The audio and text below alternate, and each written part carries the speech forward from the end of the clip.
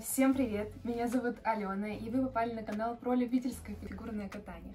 Давно на самом деле я так не сидела с вами, все влоги, влоги. Сегодня я хочу рассказать вам, как создавалось мое платье для первых соревнований, для этого сезона. Также хотела сказать вам, чтобы не забывали подписываться на мой телеграм-канал, где я каждый день с вами на связи и рассказываю о тренировках, какие-то инсайтики. Стараюсь, чтобы было от души, стараюсь, чтобы вы почувствовали, что вы не одни со своими переживаниями.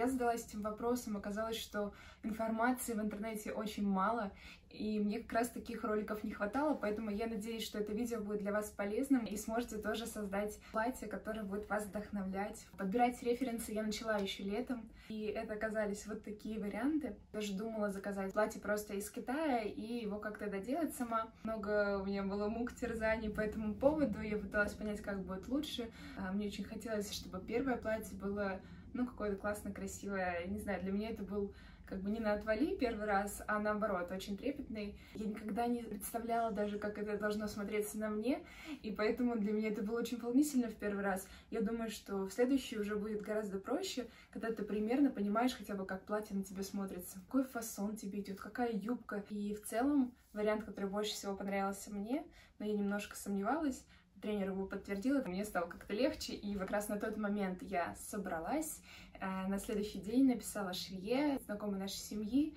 мы договорились, что будем работать. Она делала всю основу, и я потом должна была это все украсить как раз бриллиантиками, стразиками. Первая задача была отправить все идеи ей. Мы встретились, пообщались, сделала первые замеры, мы обсудили, как в целом я это вижу, что мы можем сделать, и начали искать ткань.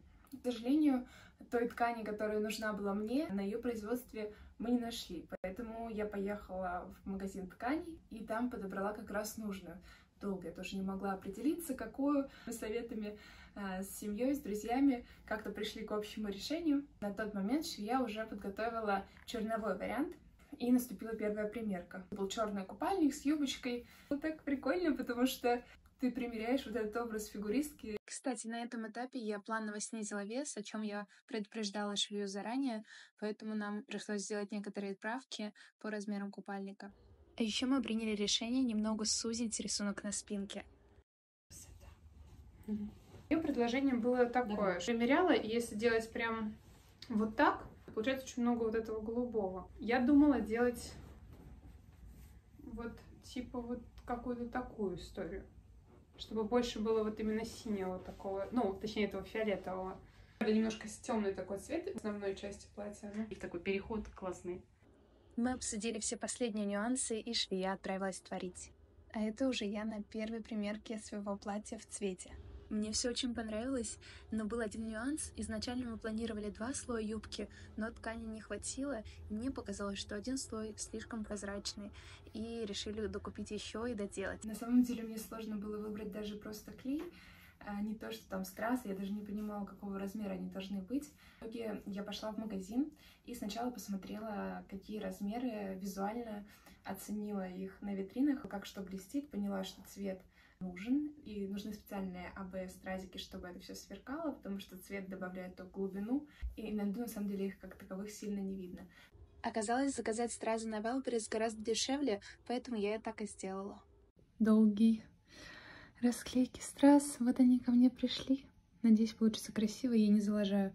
А, сначала буду пробовать на такой клей, а потом еще и на специальный. Посмотрим, где лучше взяла кусочки, чтобы сначала просто опробовать. Начала я работать с суперклеем, а, потому что девчонки мне сказали, что это самый верный вариант. Я очень переживала, что на специальном клею будет плохо держаться, и все у меня там подваливается во время выступления. Но на самом деле лучше, по моему опыту, взять как раз специальный клей, потому что я начала с суперклеем, гелем, и немножечко там подпортила какие-то моментики. Хорошо, что это издалека не видно. Но работа была гораздо сложнее с ним, и клей на водной основе оказался гораздо-гораздо удобнее.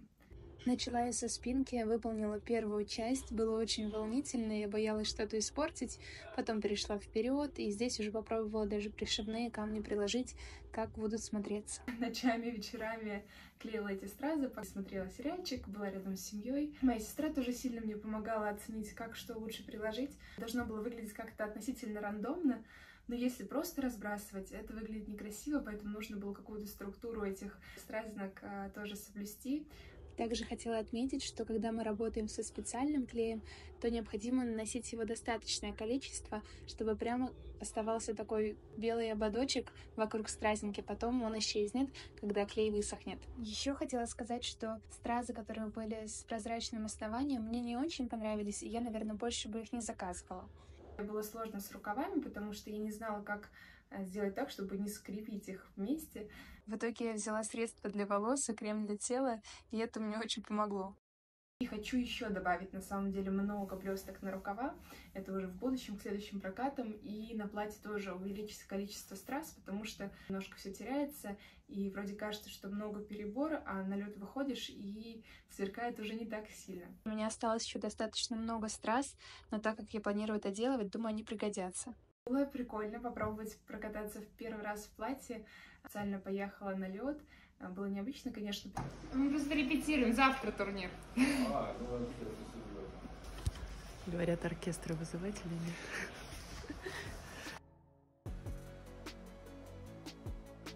Ну и, наверное, к самому интересному, сколько же все это стоило.